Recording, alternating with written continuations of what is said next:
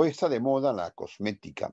Yo creo en la belleza, creo que hay, que hay avances importantes de terapias para la piel que han mejorado pues la piel, pero estamos yendo a un extremo que la gente quiere verse limpia, sana.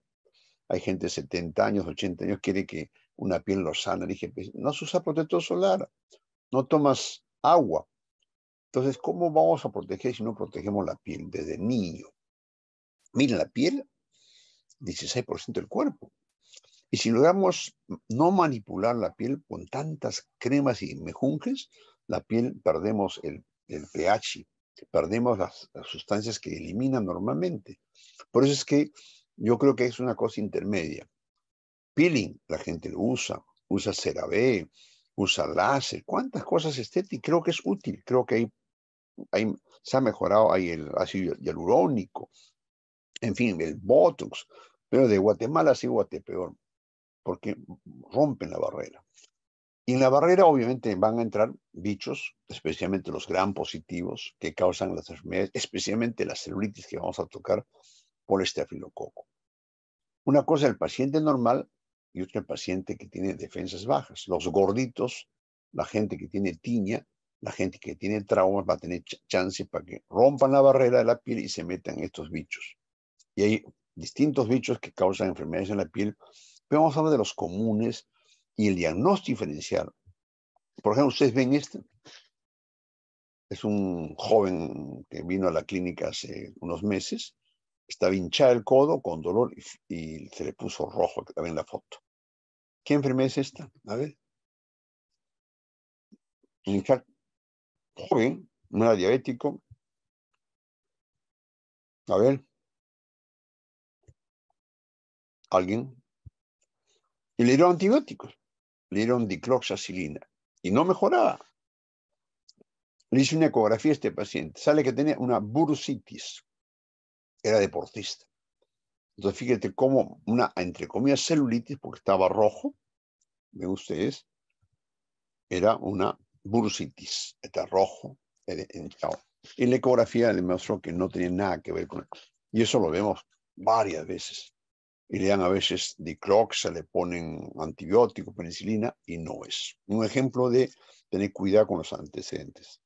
Este es otro tema muy frecuente en nuestra tierra, en la sierra, en la selva una pápula que es ulcera con una, otra pápula que no duele, una campesina, una niña, que le dijeron una piodermitis.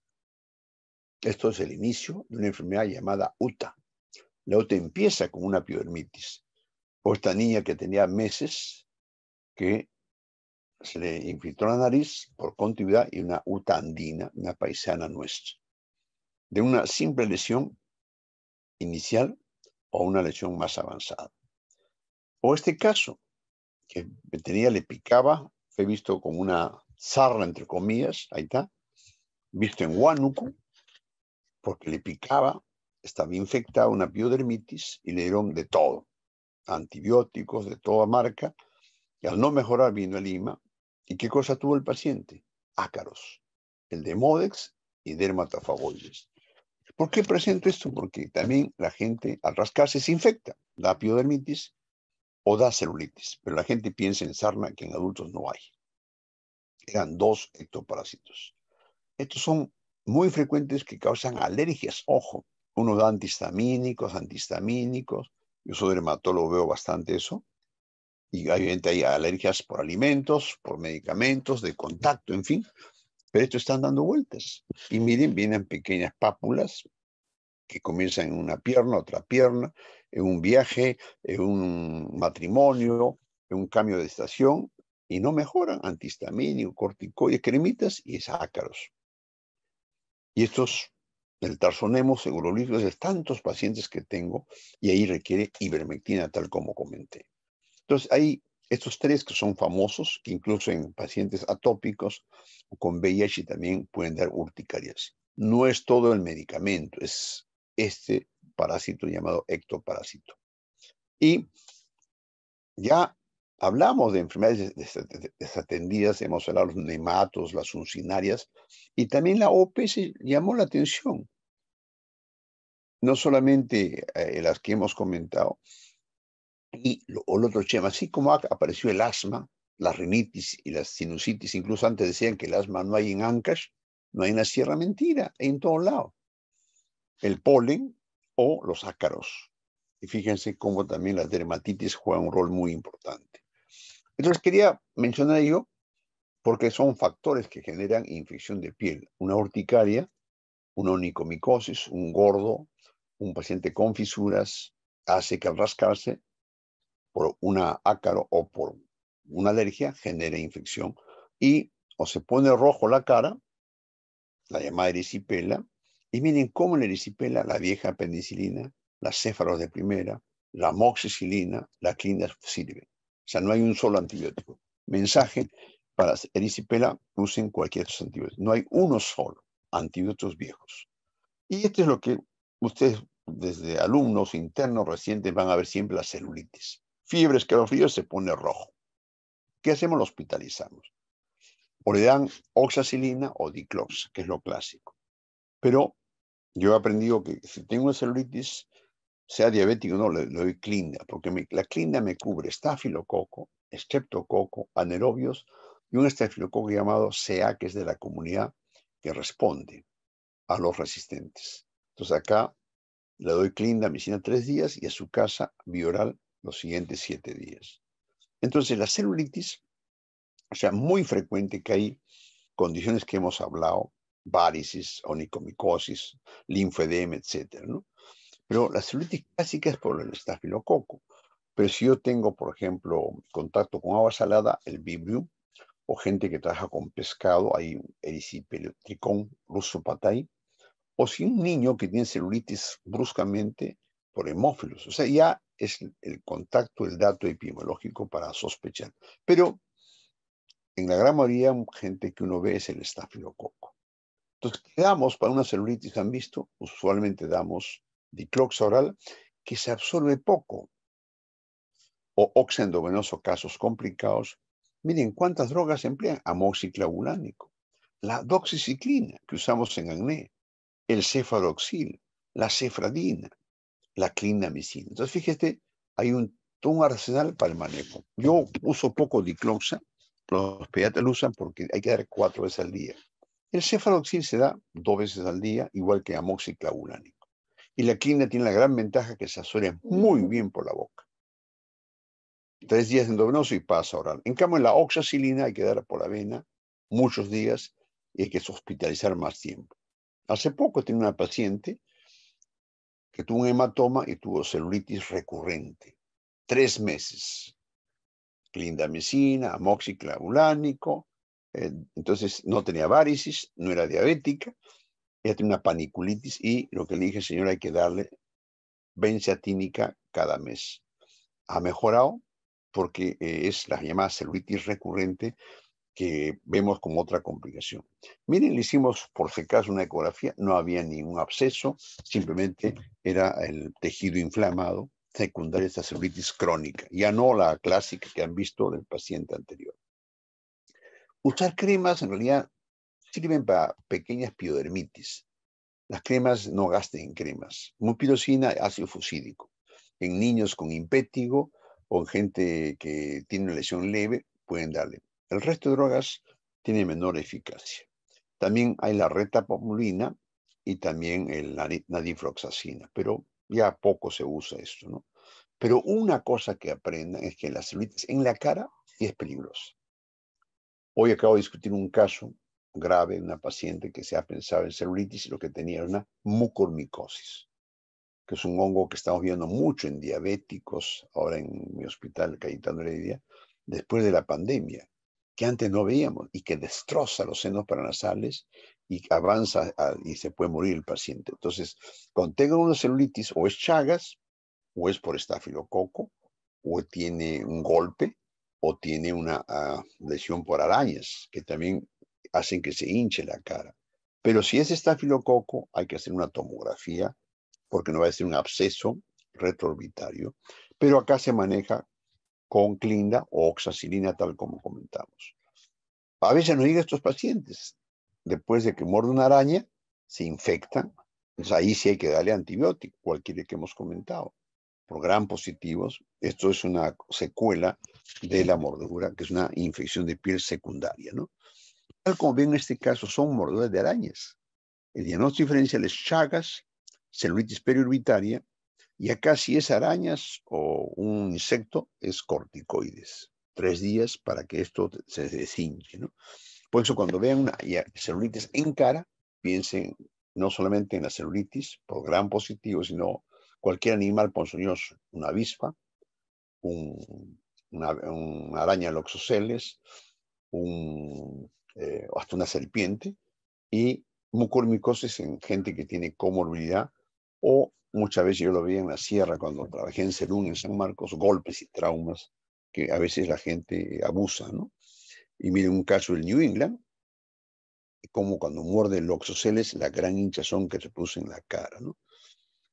Es otro paciente, uno ve celulitis, el diagnóstico, dolor, un día con edema severo, le mordió un jergón acá en Lima, un jergón que es el Botrox, y tenía la puerta de entrada, pero estaba hinchado.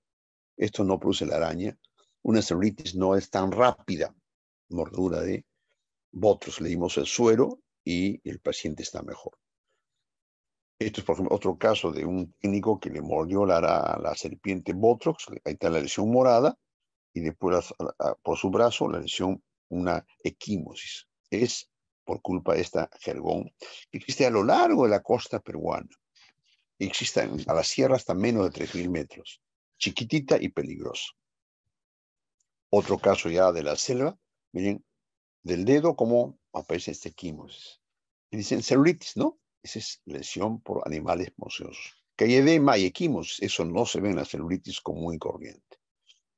¿Cuánto tratar a una celulitis común y corriente? Usualmente le damos endovenoso dos o tres días, fíjese, y no hay que cambiar antibiótico al día siguiente. La gente se desespera. Hay que esperar 72 horas o es el medicamento adecuado o es resistente. Nunca cambien a los dos días.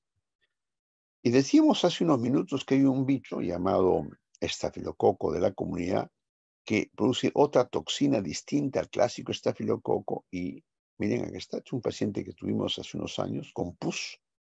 Hicimos el cultivo de estafilococo, pero era resistente a la oxa, a la dicloxa, y solo sensible a rifampicina, a la clindamicina. Ese melmarse la comunidad no se olviden que en tatuados, en gente que tiene golpes, en niños, en atletas se da. Se llama el MARSA. Y ahí sí no funciona oxa ni dicloxa, ni cefalosporina, funciona solamente clindamicina. Ahí está.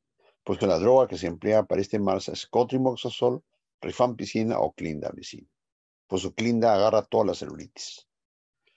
Otra complicación que viene como este paciente con abscesos, con chupos le dan antiinflamatorios, ceftriaxona, leofloxacina, y esto fue una iatrogenia por verse fashion, por verse bella o bello, se aplican sustancias tipo vitamina C y que generó que creciera un micobatón llamado Chelonai. Esto lo publicaron en la epidemia que hubo hace años en pacientes que se aplicaban sustancias para verse, para quemar la grasa. En vez de quemar grasa, se metió esta micobacteria. Esto es un tema de salud pública en el mundo. Hay las llamadas mesoterapias. Tengan mucho cuidado con las mesoterapias. Miren todo lo que produce las bacterias, el estafilococo clásico, la Klebsiella, pseudomona, y las micobacterias, como vieron en este caso. Sustancias para quemar grasa y, queman otra cosa. Y cuando usar pacientes eh, eh, que tienen celulitis en pacientes endovenosos hay que pensar en los pacientes inmunocomprometidos, los neutropénicos, los VIH. Son pacientes que eh, sabemos que pueden agravar, no pueden darle vía oral. Son pacientes que la artritis avanza rápidamente. Los inmunosuprimidos hay que darle parenteral. Y ahí empleamos vancomicina, imipene, pipetazo, eh, cefipime, linesolid, tigiciclina, etc. O sea, son drogas que muchas tenemos en el Perú pero o un paciente que no respondieron a la vieja terapia, damos banco o pipetazo, que es un poco la experiencia cuando la, esa va mal. Pero hay enfermedades que se pueden confundir que matan, las llamadas faseitis, post cirugía o las mionecrosis. Por ejemplo, es un paciente que vino como un quemado, era un VIH, hay que darle doble antibiótico y este paciente tenía VIH, parece un quemado. Ahí si le dan solo oxa o clean del paciente puede fallecer. Tiene flora mixta, parece un quemado, ¿no? Este paciente era un paciente con VIH complicado, ¿no? Miren otro caso, de un paciente de la selva con úlceras crónicas y que fue tratado como infección de piel durante meses con distintos antibióticos, miren, no mejoraba, no mejoraba. Finalmente fue Mickey Mouse, para Coco brasilensis, que se infectó y daba estos signos de úlceras crónicas o el signo de churrasco. El manejo es con itraconazol. O este es un caso que se puso una venda en la mano, seis días mordió por un jergón, vino con gangrena, amputación. ¿no? Hace poco un paciente que estaba manejando cables eléctricos, miren, se quemó eh, acá en la cabeza y se cayó y es una infección secundaria por un trauma eléctrico. Hace poco tuve una paciente que estaba rojo su cara, le preguntó, era la lúpica, que le habían dado el famoso tegretol para el dolor neurítico, hizo herpes zóster, hizo un rash severo, le dijeron celulitis, ¿no? En una eritrodermia asociado a una reacción de medicamentos. Miren, rojo eritematoso, pero con mucho prurito. Tenemos que internar y darle antihistamínicos y corticoides. Este caso interesante. Un chico joven que vino por lesiones costrosas, ulcerativas, con mucha secreción, y había viajado a la selva. Yo pensé que una piodermitis complicada, tres meses de evolución, llegó, le di antibióticos, clindamicina, mejoró un poco, miren sus lesiones, y me llama la atención la evolución no tan clara. Era estos boxers, eh, un muchacho que le gustaba patear, le pateaba en una zona del pie, y le hice también en Cayetano para Leishmania, parecía Leishmania, y salió hongos una, una tiña complicada con piodermitis. Entonces, este otro paciente que nos llegó, caminando un gordito, miren esa lesión eritematosa, celulitis extensa, con lesión en el pene, que fue un Fournier severo que murió en 24 horas en la UCI. Usaba antiinflamatorios, que se señala que generan una fasciitis o mionecrosis. ¿Por qué pongo este ejemplo grave? Porque una celulitis que crece rápidamente, ojo, puede ser una fasciitis. Más si es operado, si es gordo, si tiene diabetes. Porque miren, las fasciitis, que es rápidamente progresivo, se confunde con lesiones tipo virácea, eritematosas, como las celulitis que vimos al comienzo. Y está asociada las fasciitis al uso de AINES. Por eso no me gusta usar AINES, ni en faringitis ni en celulitis otro ejemplo de estudios que debemos mostrar. ¿no? Hace poco hemos tenido virile mono. Miren este caso que al comienzo lo vio un colega pensando en piodermitis, esos famosos uh, pus. recuerdo, esto fue un paciente de mi práctica privada que pasó por otro colega y no pensaron en virile mono. Yo, como estoy atento a este tema, sospeché y tenía pocas lesiones y fue virile mono.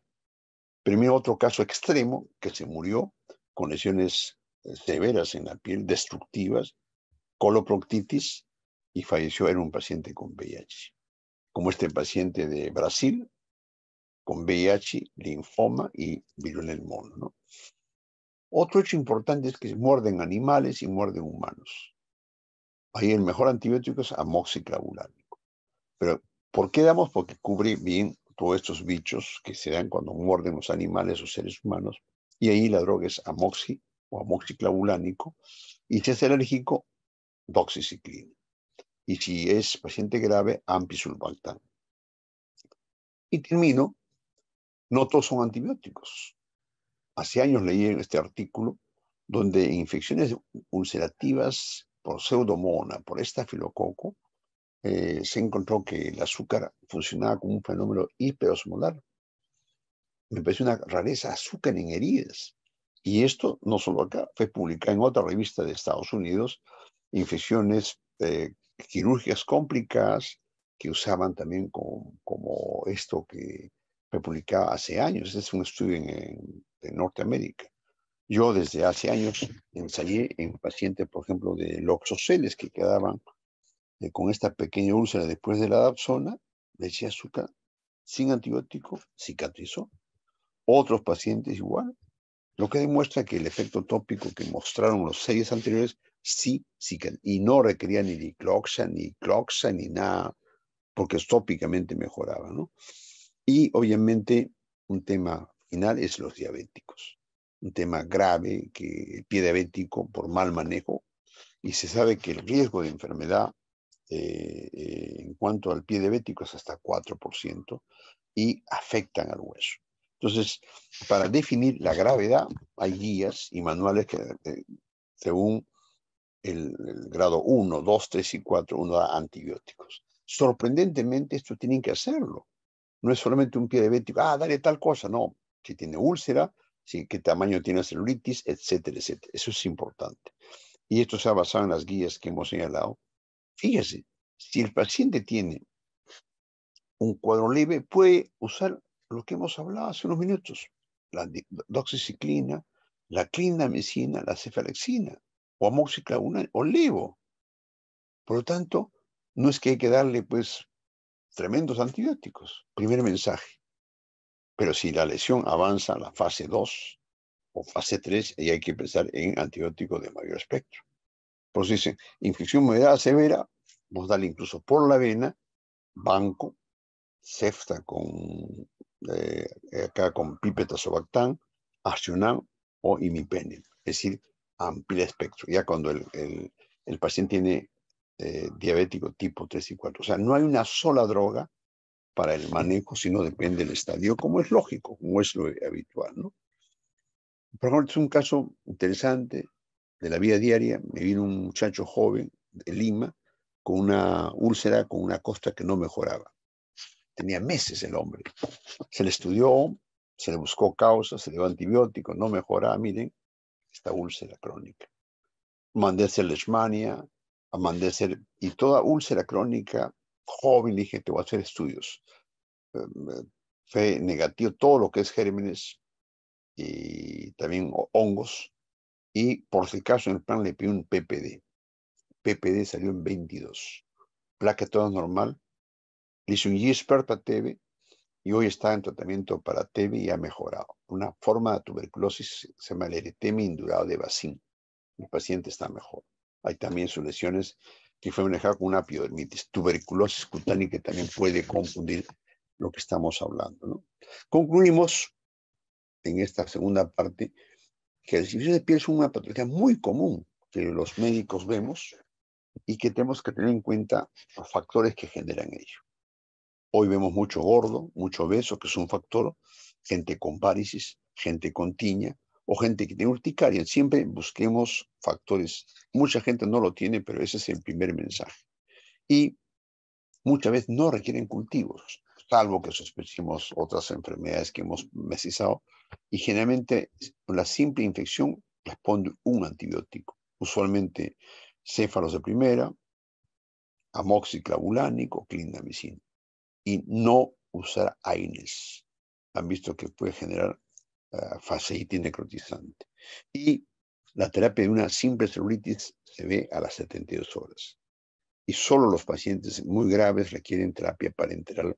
Pero la gran mayoría se maneja con reposo y con antibióticos, casi todos de la vieja generación.